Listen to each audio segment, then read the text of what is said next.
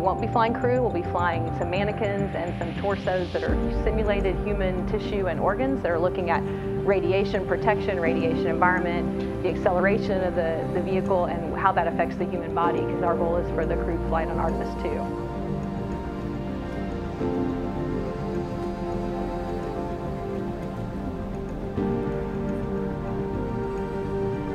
sometimes getting in the rhythm that this is just normal uh, normal business. And then every now and then I kind of stop and I realize, wow, this is what I'm actually getting to do. I always I watch Apollo 13. I got to see this on TV and movies, and I'm actually going to be the guy here when we when we when we like the engines to go around the moon. That is for that is really amazing.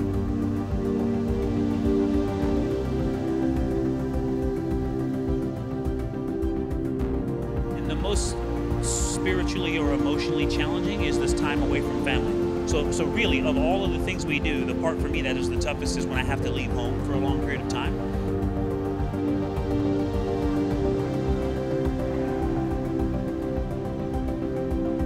Our sights are not set on the moon. Our sights are set clearly on Mars.